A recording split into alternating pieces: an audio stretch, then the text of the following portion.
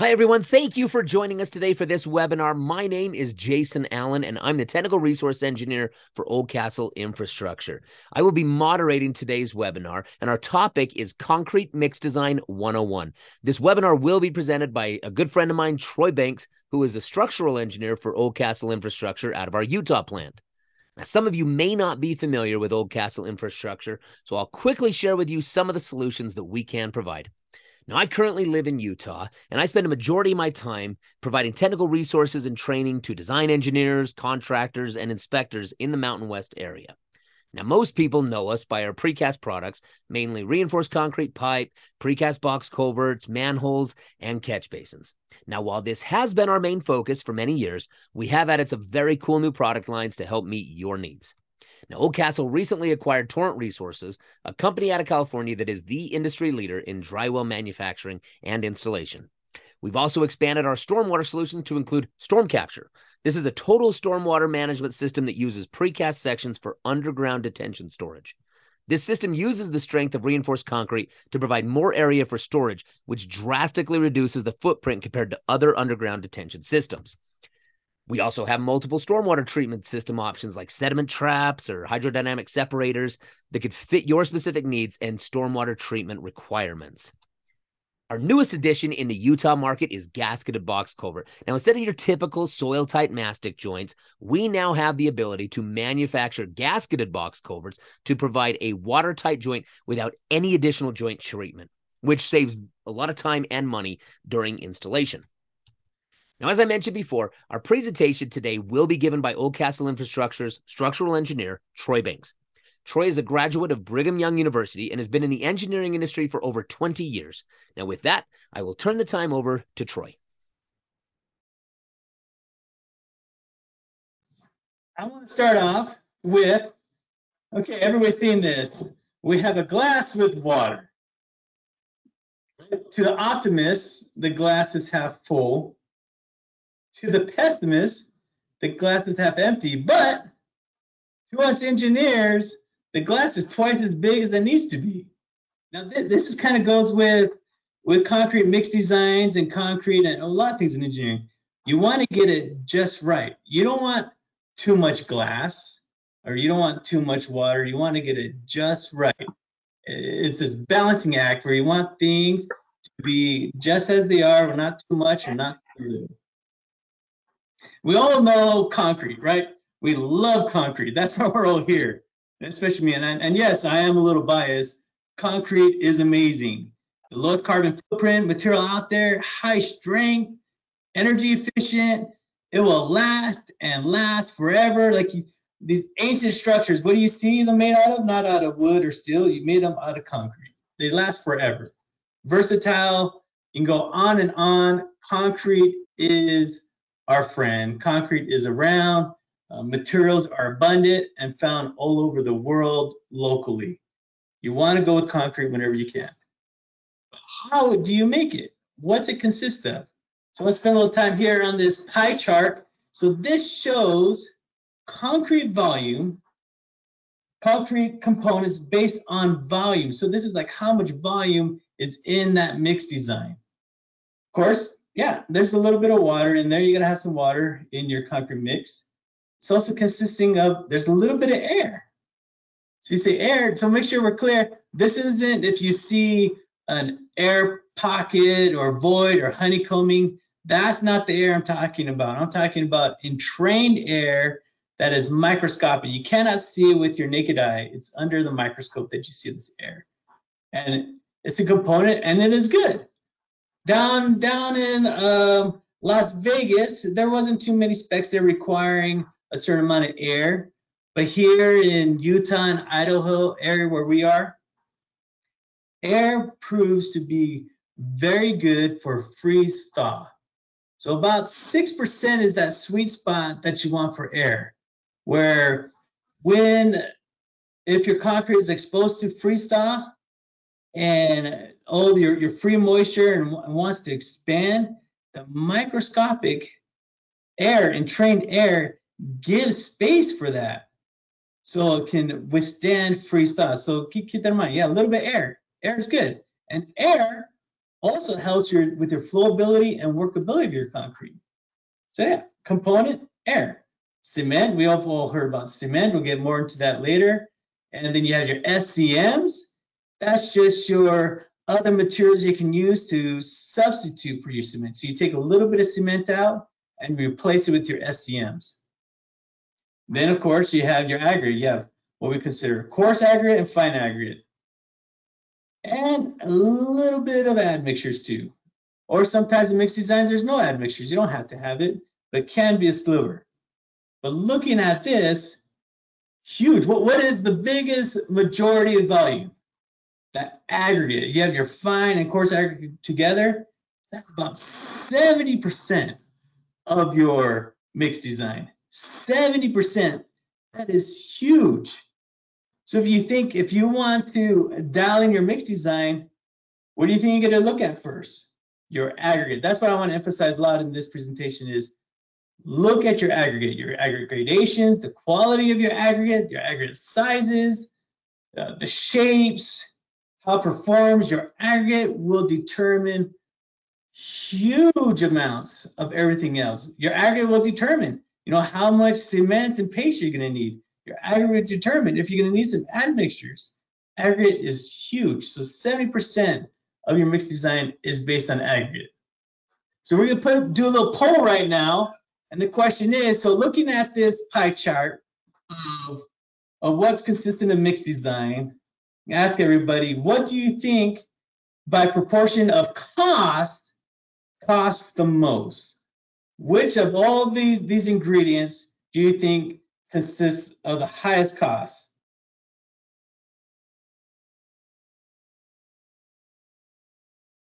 All right, let me share it here.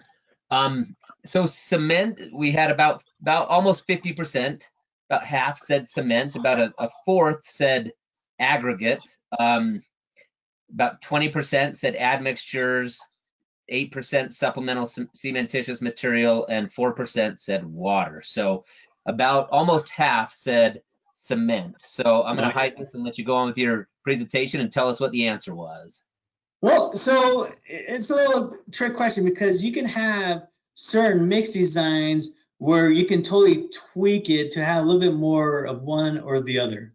But for the most part, the majority of most mixed designs out there, you see this. Your cement is almost always the most expensive part your mix design. So this this was actually on an actual mix design that I use um, currently right now. This was actually one with a little more cement than than typical for for different reasons in it. And you can see by far the cement was the most expensive part of this mix design. There's I've had other mix designs where um, I had some really special properties that needed meat, and I had only had to do it with admixtures. And the admixtures have become way like 50% of the cost. So that can happen.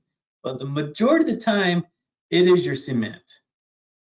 But look here, your aggregate on this one is only about 25% of my cost is my aggregate, even though it was 70% of my volume.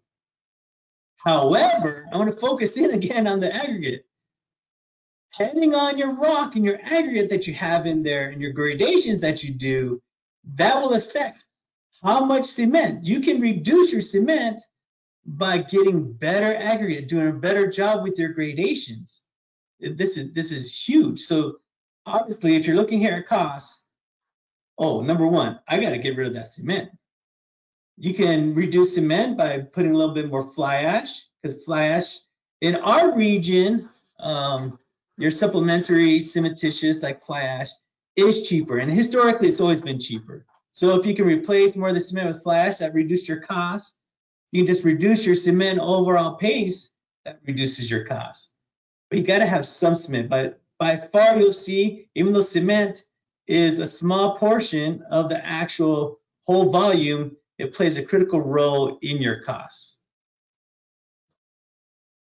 So let's get more into our rock. What? So typically we, we divide into two different types. You have your fine aggregates down in here and you have your coarse aggregates over here.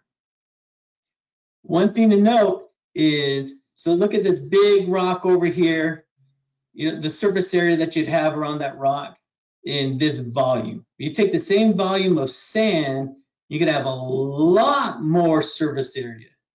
And the more surface area, the more paste you're going to need. You know, that's your cement and water.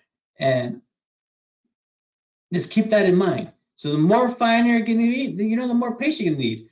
But you're going to still want some sand. You can't have it just all rocky. If you have it all rocky, you can have all these gaps. You want something with a good gradation in it. And, you know, this is my dad joke for the day.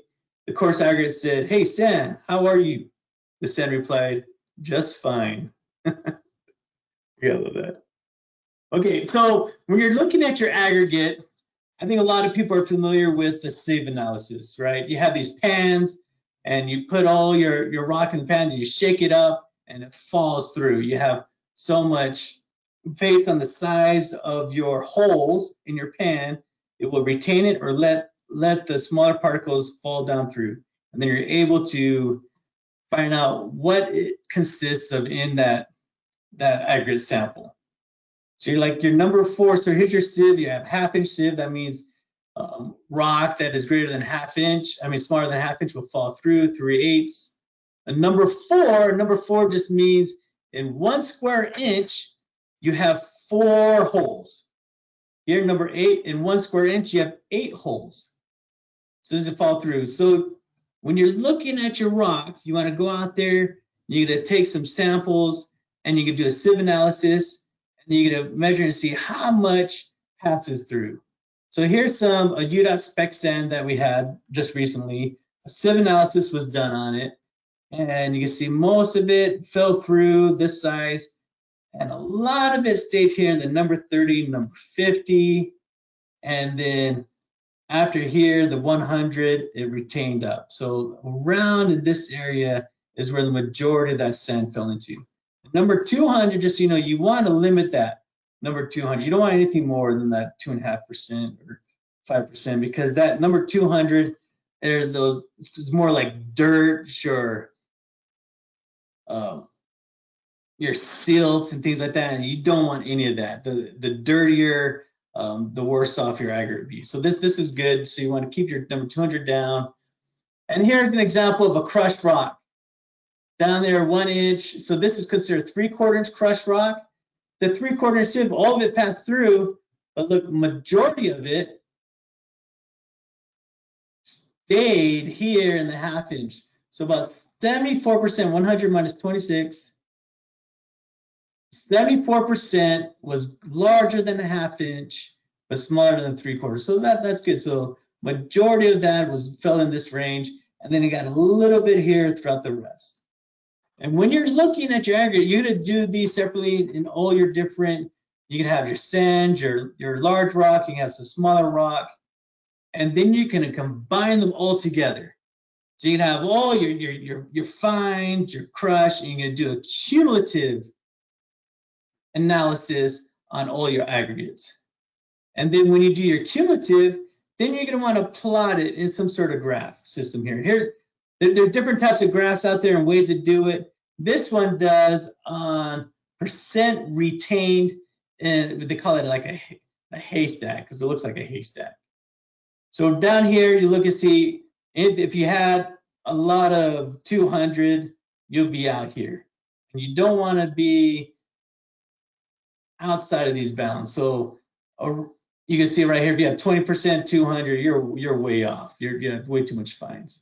But if you're landing right in here, but the majority, you see, keep it in here about 15, 10%, all the different sizes, that's going to be considered, you know, a, a well-graded, good type of rock accumulation to be if you find yourself when you combine your, your sand again, so this is just your sand by itself, it's your sand, your intermediate rock, your large rock. If you find yourself when you're plotting this graph out here, you might want to rethink that. Okay, how can I bring that down in here? So this is sand established for years. Stay within these boundaries. You're good. But it's not always the case. We'll, we'll, we'll talk about that in a little bit. Here's, here's another way you can look at your gradations that's poorly well graded or gap graded is it's called the Shilstone graph. All you do is just take your percent passing number eight. That's they call that your workability factor. Percent passing your number eight um, sieve. So that's a you know a little bit smaller than than your three eights. This right here, two and a half times powder. That's just a this is based off of a five sack, you know, cementitious mixed design. If you have more cement in there, there's just a little factor, but just pretty much you're passing number eight. So if you're over here, you have, and this again is your cumulative, if you have high amounts passing number eight. So number eight, you're you're smaller, so this is like your, your sands. Your cumulative aggregate gradation is above this 40%. You can see here, you get a V, something with way too much sand, and it's going to be a little harder to work with. So you want to stay here within your 30, 35, and then you're going to go across here. This this factor, the coarseness factor, is just your percent retained of 3 eighths divided by your percent retained number 8. So the higher amount, percent retained of 3 eighths over the eighth, you're going to get a little bit higher. So they're saying if you stay within this range, you're going to have a well-graded um, combination of rock and sand. And this is typically, most DOTs go by this, is okay, you stay in this range, you're good. But that is, you know, prescriptive. If you want to go more performance-based, you'll see this doesn't always tell you the whole story. This tells you, yes, well graded, and if you're there, you're gonna have a good mix. But you can, might have some better performance if you go and do your own trial testing.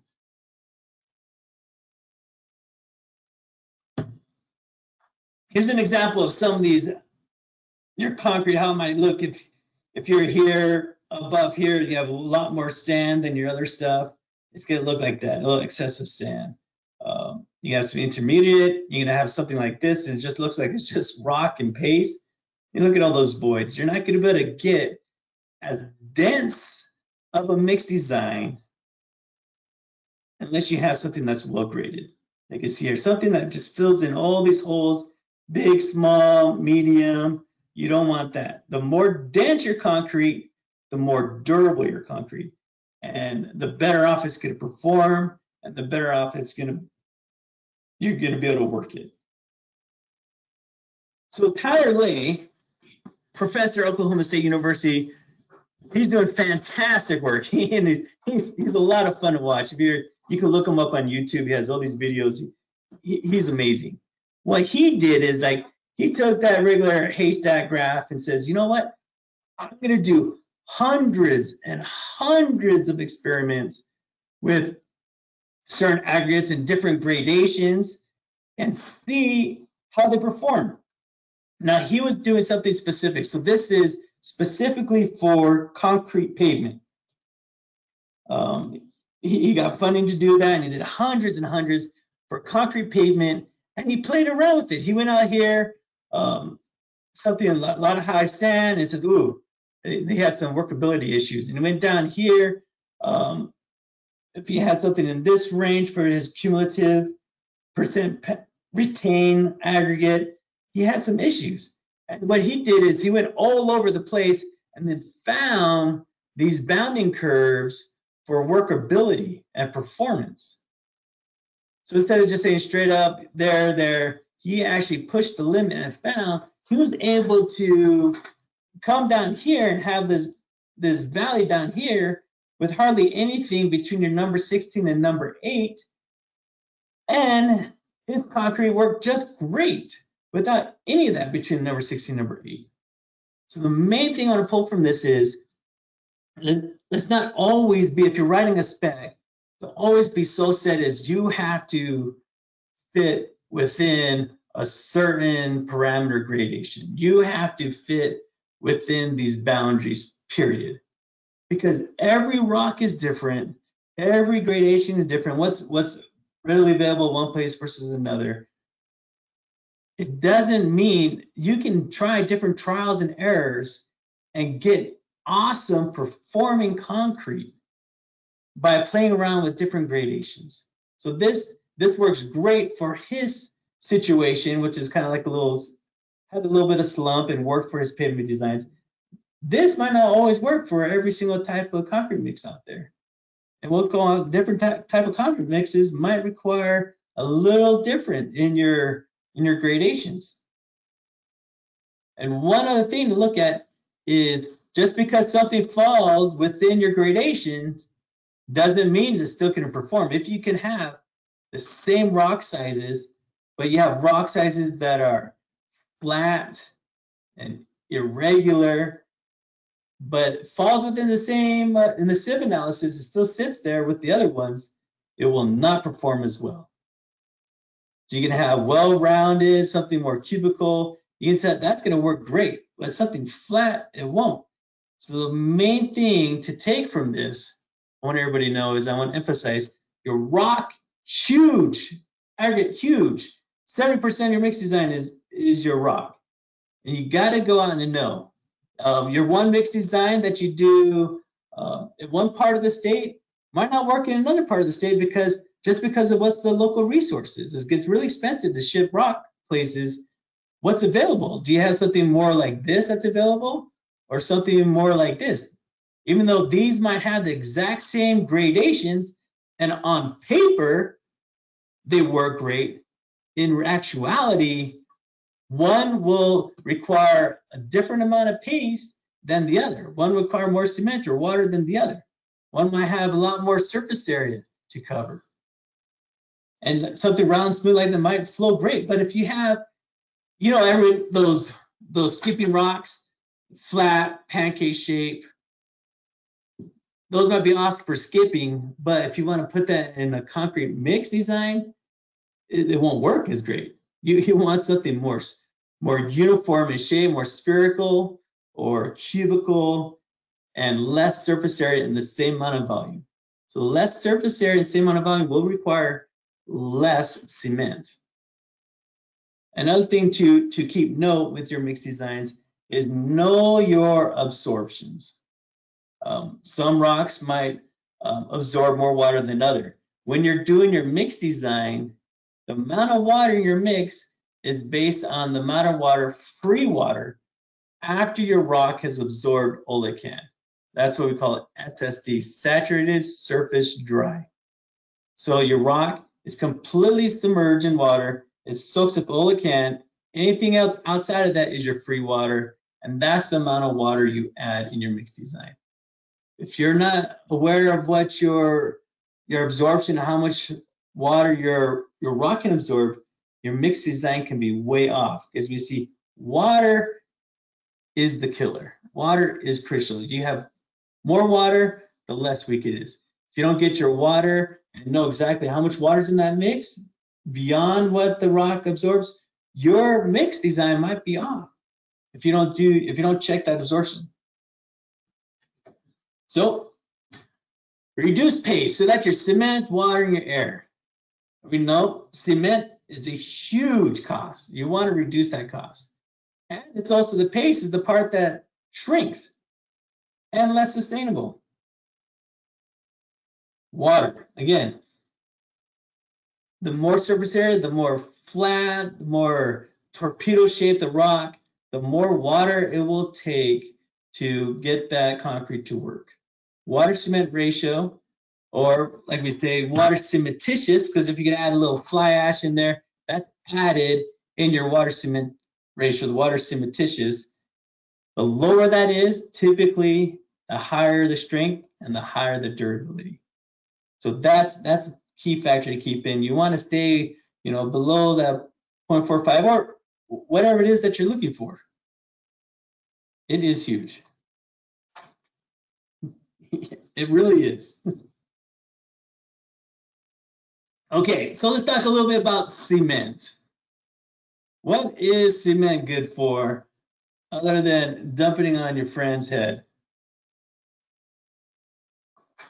So typically, in the past, and I, I think most people are familiar with ASTM C150 Portland cement. That is the most typical called out in specifications, and this is what I see written in a lot of spec books. requirements and jobs. I say they want an ASTM-C 150 Portland cement. You have your type one, that's just for general purpose. You have your type two, which has some moderate sulfate resistance capabilities. And this, and you have your type three, which gives you some high early strength, which is nice. And most, mostly what I find the type three is just ground down. They just get the other cement that they have and they just grind it down finer. And the finer that cement is, the more easily um, and quickly it will react. So you get some higher strength of your type 3. So mainly just a finer cement. Your type 4, that's something if you want a low heat, like you're pouring um, like a dam or really large volumes at once, you don't want it to get too hot. You want to specify type 4, and then you have your type 5 for high sulfate resistance. I haven't seen too much, a lot of soil sports I read, I don't really read too much that in Idaho, Utah, you have a lot of high sulfates um, soils. I know down in in Nevada area that there's some pockets of high sulfates that you're gonna want to be aware of. I'm looking at, so let's look at a mill cert. So here, this one is a Portland cement 2.5 per ASTM C50. So 2.5 means it meets both the 2 and the 5 requirements. And you see a lot of these requirements for ASTM C50 is a lot of it's prescriptive. A lot of it is, okay, you have to have certain chemical compositions with diff different boundaries. And if you fall within that, you meet that requirement. Well, what I want to talk about is ASTM-C 595. We are going to see, especially in, this is going to be more and more common coming out, is ASTM-C 595 blended cement. In fact, Holcim, and one of the biggest um, cement suppliers here in our area in Utah is actually um, requiring people to change over to this ASTM-C 595 blended cement. And these blended cements, they're specified by a type IS, I mean 1S, the S means it has slag in it. P means it has like a pozzolan, like fly ash or something else in that. And L means it has limestone in it. So this, Gonna focus in a little bit here on this type 1L. So the 1L and then apostrophe, if there's a 10 in there, means there's 10% limestone in that cement. So that means they substituted, you have your clinkers, but they added in 10% in that process of limestone. So currently right now, most cement has about 5%. They're increasing another 5% for type 1L10. So why are they going this route? Why are they now giving saying, hey, we want you guys to start buying this 1L10 with a 10% limestone substitution? The reason is, well, limestone readily available. Limestone, low carbon footprint. It's not part of the clinker that that takes up all the energy um, and it's not as sustainable. Limestone is very sustainable. So you're lowering your carbon footprint and going greener concrete by adding in the limestone. But tests that I've been doing is if you substitute uh, more than 10%, you're gonna 12%, you're gonna have reduction in strength in your in your cement. But at around 10%, what they're finding out is, hey, I can put 10% limestone, I can put in this filler, it's pretty much a filler in that cement, and guess what? There's no reduction in strength at performance. You can have the exact same performance at 10%. So for me, this is actually newer. We are just going to start doing some trial batching and test running to see if that proves true. If it does, and that'd be great. We're gonna have a greener concrete, more sustainable, and more readily available. They're gonna be able to produce more cement with this type 1L out of their plant than their regular type 2.5.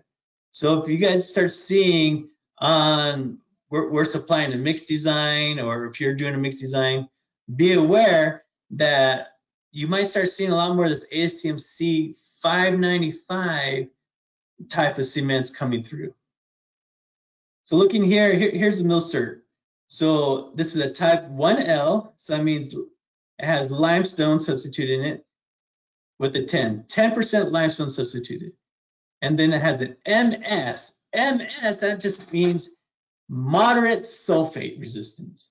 So this 1L has, you know, it's similar to to the other 150, but this one is they're they're required not by just by prescriptive chemical composition, they're required to do an actual test. So they do a sulfate experience, they make these bars per ASTM-C 1012, they expose it to sulfate solution and they monitor it and see how much it expands over a certain amount of time. And to get moderately, you have to 0.10 max. If it's less than 0.10 expansion after 180 days, it's moderately, uh, it means moderate sulfate exposure. 0.05 down here, if that's 0.05, then that's high sulfate. So this one, the actual result was a 0.06. So this was just a little, just barely didn't make the high sulfate, but it's for sure moderately sulfate. If you have an area where you do need some high sulfate, it's okay. We can still get that with some more testing. Um, we can add a little fly ash in there and you can do this test again, C10, 12 with, with the fly ash add and you, you can get that down below 0.05. But I, for the most part, from the source reports and stuff I'm reading here in our area, Utah, Idaho, I don't see that so much. But in Nevada, yeah, that, that does happen.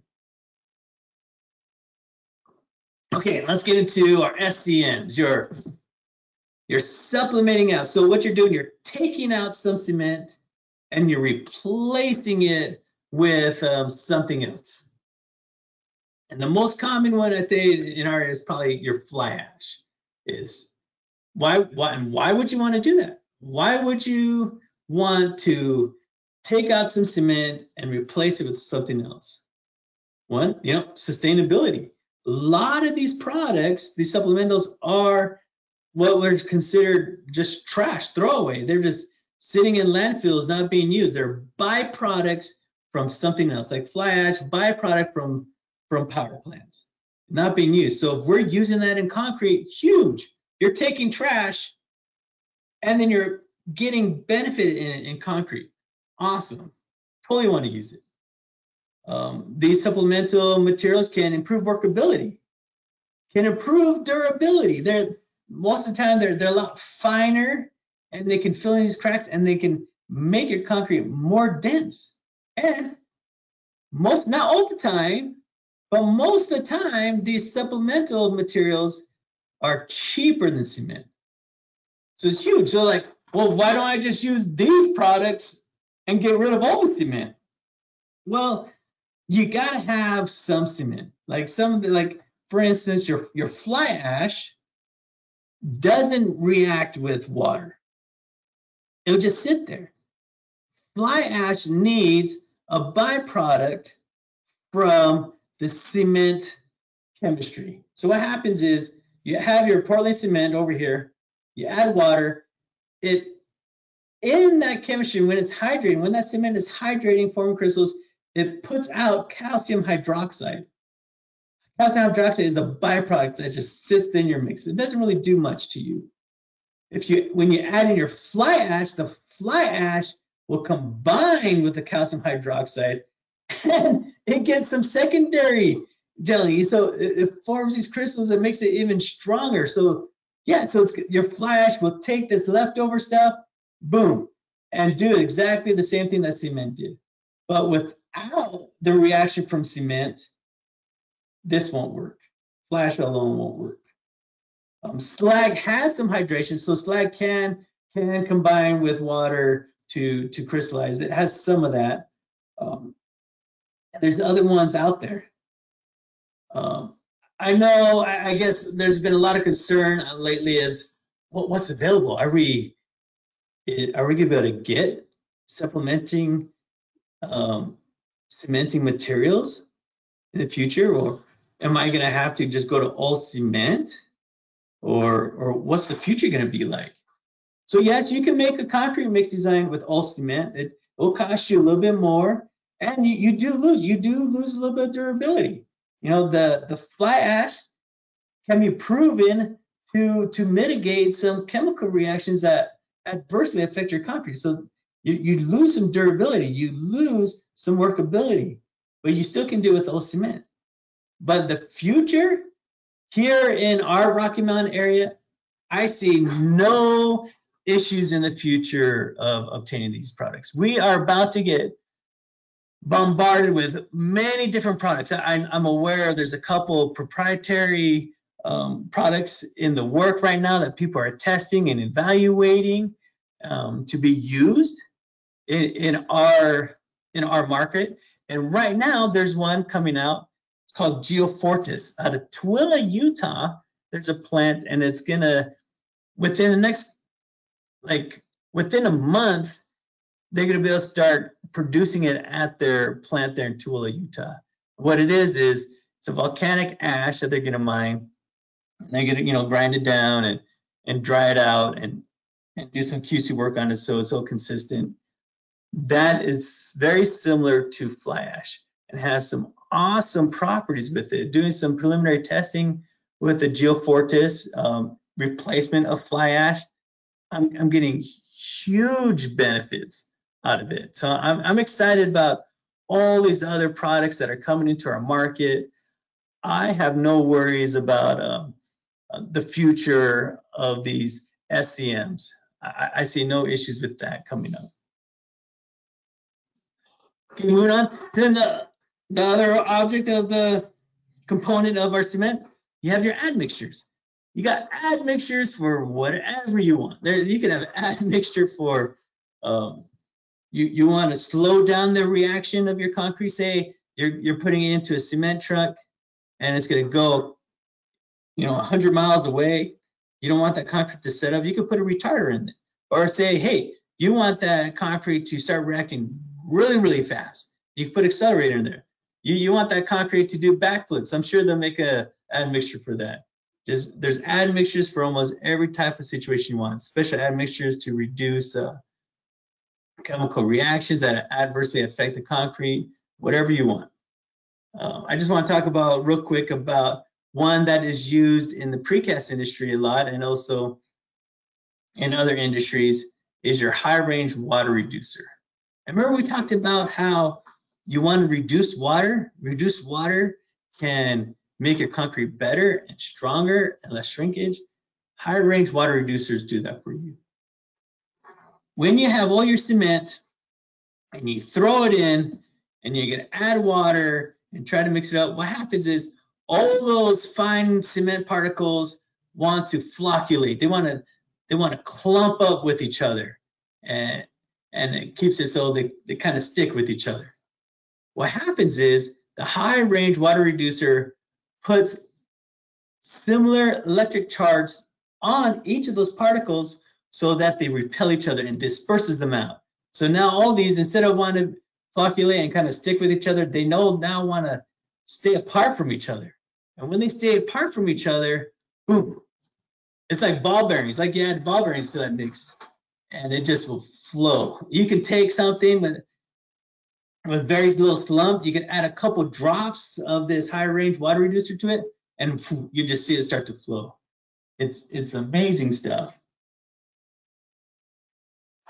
So let's talk a little bit about different types of concrete that we use.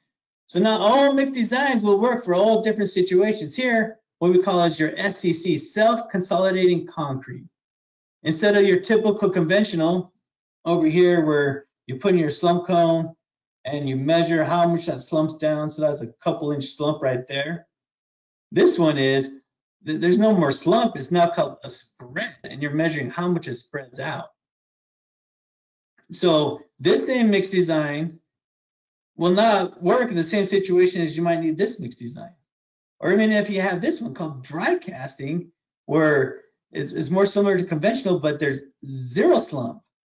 You set it in like, like your sandcastle and it stays. Zero slump.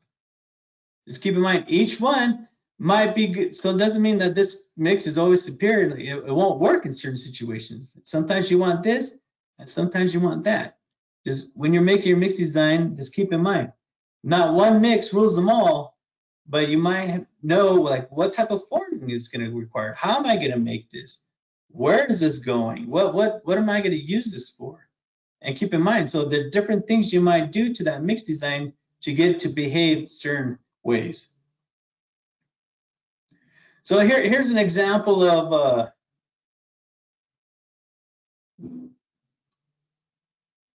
of a dry cast. We'll skip that one. See if this one's working. What this is doing is, so this is freshly placed concrete. They just barely put it in, and you see these things around there are they're vibrating. So you vibrate the crap out of the concrete. You get it to consolidate, sit down, but then you remove the form. So that concrete right there is less than a minute old. Look, it's staying in its place. That's what you call zero slump. So if you have something with a slump on it, that will not work for this type of process. So keep in mind your process will make a difference. So consolidating concrete, again, this, this is different. This, the amazing thing about the self-consolidating concrete you see here, boom, it just flows. Huge benefits to this is if you got to pump concrete, say you're pumping it up 50 stories up to a high rise, you're to want something like this that flows and pumpable. Or uh, a good thing about this is you don't have to vibrate it. And you guys worked in worked in concrete, try to place concrete, usually using that stinger and stinging it and it's getting all over you. It's a big mess, or you got to vibrate it in. It's a big mess. This, you put up your form, you pour it, it self levels, and you walk away. Less labor.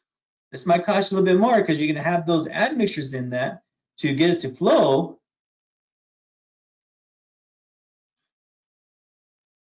But I still want to talk about. Sorry.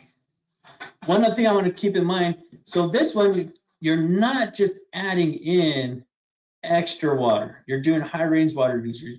Water cement ratio is still very critical with this just to keep in mind, don't just add water to get it to do what you want. You got to play with that and keep in mind your water cement ratio. Looks like we're running out of time. So main thing keep away, what are you making? What properties do you need? What type of forming are you using? Um, what are your strength requirements? Maybe you don't need something with a really high strength.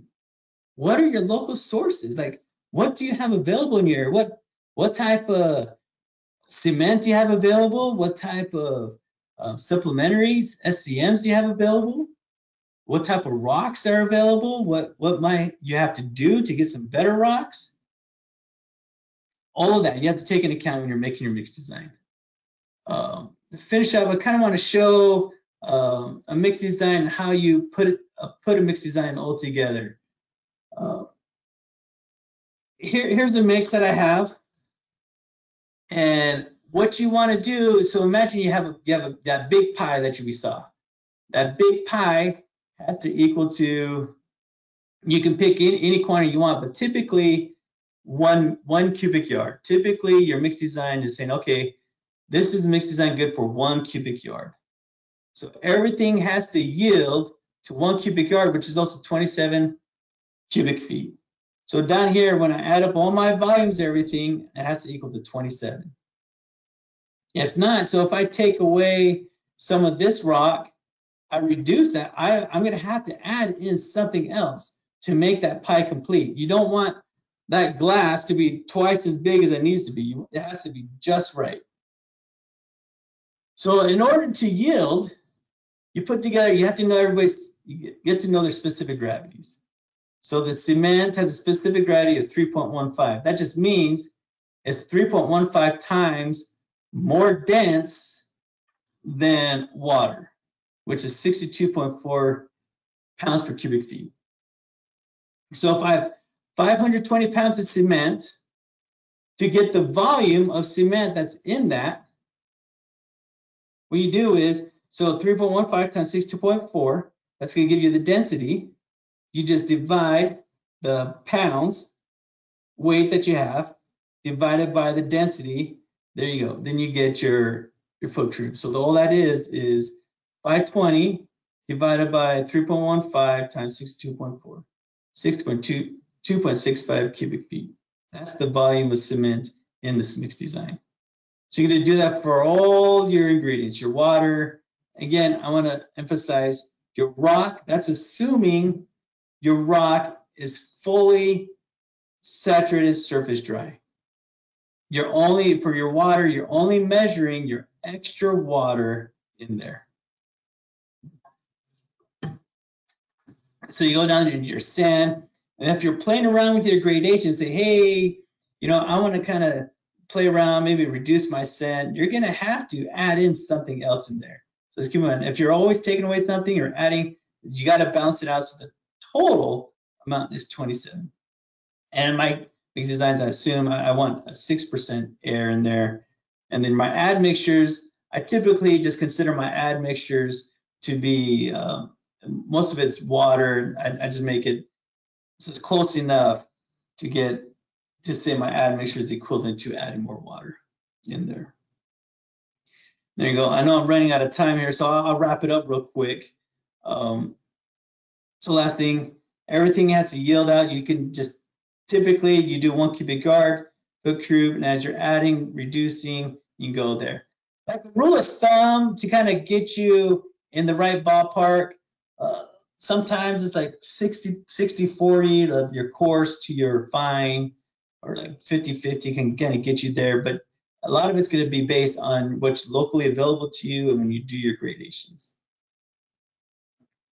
And again, don't forget your water cement ratio is critical. So for this one in particular, it was 280. So the massive, massive water, 280 divided by your total cementitious, which is your 520 plus 130, you got a 0.43. So that's good. So typically, you try and want to stay around your water cement ratio. Make that govern your mix design.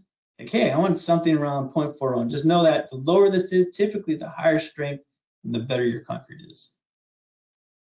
So our review, know what you want out of your mix design. And I can't emphasize more, your aggregate, 70% of your volume is aggregate.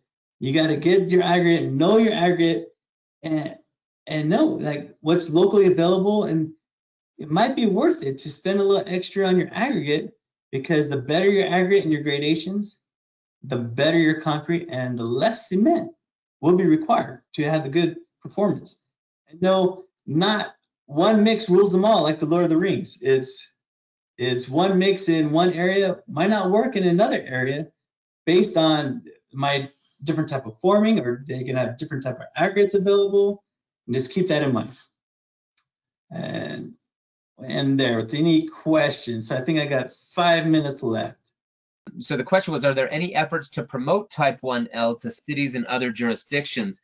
When when Type 1L is not accepted in their respective standards, it presents problems for the design engineer when reviewing material submittals. So that's a great question, Troy. What do we what do we do with um, with some of these you know some of these uh, issues where where we've got these new products that you talked about coming in?